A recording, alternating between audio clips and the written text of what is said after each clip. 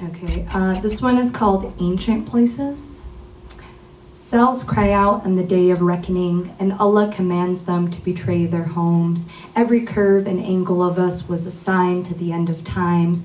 Crop hop, crop tops and hip huggers, heeled sneakers busting our feet. But we were too high and mighty to hear the trumpet.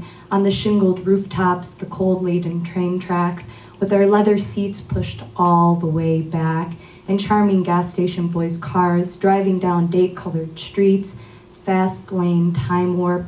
Maghrib sunset fades into twinkling Fajr dawn. We blew smoke rings out of our piercings, turned our water into wine, their money into time, floated like gin into our bedrooms before Teta stirred.